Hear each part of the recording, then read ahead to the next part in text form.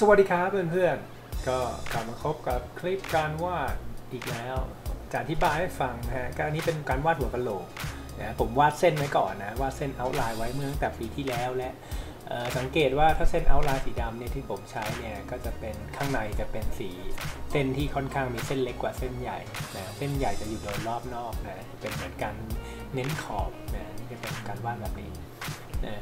ซึ่งเอ่อเดี๋ยวตัวเส้นเนี่ยผมจริงๆผมงานของผมจะไม่ค่อยชอบใช้สีดำนะก็เส้นเนี่ยจะเปลี่ยนเป็นสีน้ำเงิน ก็ผมจะมีสีเซตสีของผมอยู่แล้วประมาณ5สีที่เลือกไว้ใช้นะแล้วก็ใช้เทคนิคการไล่สีสังเกตที่ตัวหัวกะโหลกนะฮะจะเป็นการไล่สีแล้วจะมีเงาสะท้อนจากหมวกนะสีจากหมวก เทคนิคการไล่สีที่เคยอธิบายไปนะฮะก็จะใช้เทคนิคการแค่ปรับ นะปรับตัว slider นะฮะตัวเลื่อนไม่ได้ทำการเลือกใหม่นะฮะเพราะว่าจะทำให้สีมันกลืนแล้วไม่กลมอยู่ในอยู่ในโทนเดียวกันนะถ้าสังเกตดูนะฮะหลังจากที่เราไล่สีได้ถูกใจและเราเริ่มเซตสีได้ถูกที่ถูกทางนะเดี๋ยวเราก็ต้องมาวาดวาดเงานะฮะตอนนี้กำลังพยายามเซตสีอยู่นะถ้าเราสังเกตดูนะ หลายหลายลองเทคหลายหลายเทคนิคนะบางบางอันก็ work บ้างไม่ work บ้างนะการทำงานมันต้องมีการทดลองนะก็เลยไม่ได้ตัดออกนะเอาให้ดูชัดๆเลยว่าเราทำการทดสอบนะในการแต่ละวาดแต่ละครั้งเนี่ยต้องมีการทดลองนะว่าไม่ได้ทำปุ๊บจะเพอร์เฟกทุกครั้งนะอะแล้วเริ่มใส่แสงเงานะนี่เริ่มวาดเงานะวาดวาดเงาอ่าก็จะสำหรับการวาดเงาแสงเงานะเราต้องเราต้องรู้จักแสงเงานะครับถ้าเราไม่รู้จักแสงเงาเนี่ยเราจะ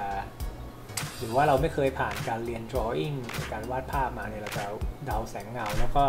สร้างแสงเงาได้ไม่ถูกต้องนะคือค่อนข้างจำเป็นสำหรับคนที่ต้องการอ่าทำงานพวกแบบนี้นะก็ต้องรู้จักแสงเงาบ้างนะว่าแสงเข้าตรงไหนเงาควรจะอยู่ตรงไหนแสงตรงนี้มีไฮไลท์อะไรแบบนี้สังเกตว่าตอนนี้ผมกำลังเริ่มทำเงาอยู่นะเริ่มทำเงาก่อนนะทำเงาแล้วทำการไล่ไล่สี ไล่แสงเงาขึ้นมานะฮะทำเงาก่อนนะทำเงาเสร็จก็จะเริ่มมาทำที่ตัวตัวไฮไลท์นะฮะหรือแสงที่ตกกระทบนะฮะซึ่งก็ทำการทดสอบหลาย ๆ สีเพื่อให้มันได้ดังใจมากที่สุดนะะแล้วก็เริ่มทำการวาดนะเริ่มทำการวาดเงาแสงแสงมากขึ้นเรื่อย ๆ นะฮะทำการวาดแสง ทุกอย่างก็ต้องคอมพิวต์ก่อนนะถึงจะเสร็จ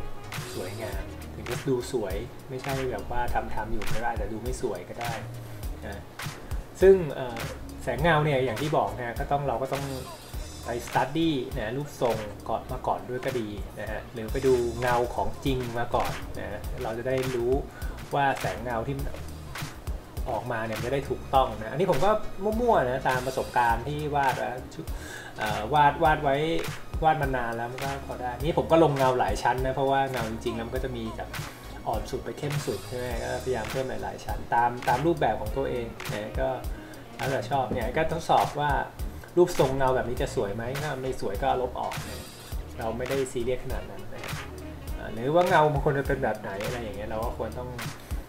สังเกตว่าผมไม่ได้วาดทีเดียวนะวาดหลายรอบอยู่เหมือนกันก็กว่าจะ ทำได้เสร็จเนี่ยก็วาดหลายรอบไม่ได้วาดทีเดียวนะครับบางคนอาจจะวาดทีเดียวเสร็จอะไรเงี้ยอย่ารีบฮะงานพวกนี้รีบไม่ได้ก็ค่อย ๆ ดูแล้วก็ถอยออกมาดูว่ามันสวยไหมนะค่อยๆเก็บรายละเอียดไปเรื่อยๆนะใช้เวลาพอสมควรว่าอันนี้จะลงสีประมาณชั่วโมงชั่วโมงกว่าๆได้นะนี้พยายามทำแสงเงานะฮะถ้าสังเกตดูเนี่ยก็จะเริ่มทำแสงเงานะแสงเงาเป็นอันดับสุดท้ายนะฮะ แล้วเก็บรายละเอียดต่างๆ จริงๆ มันลงรายละเอียดเยอะมากกว่านี้ได้ได้มากกว่านี้ แต่ผมก็คงทำแค่นี้พอนะเพราะว่าเดี๋ยวจะส่งจะลองส่งดูใน Shutterstock ดูนะครับถ้าสนุกสนุกอะนี่ก็เป็นวิธีการวาดคร่าวๆนะสิ่งที่สำคัญนี่คือเราต้อง study หรือว่ารูปทรง หรือไปดูแสงเงาก็ได้ถ้าเรายังไม่ค่อยแม่นเท่าไหร่เราไปดูแสงเงาของพวก